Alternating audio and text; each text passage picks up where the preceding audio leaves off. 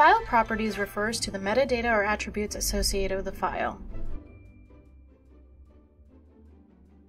This includes the shareable link to the specific sheet, the name of the file, an automated description of the file. You can change this based on what you would like. The size of the unzipped file, the number of rows and columns, and whether the sheet is private or public.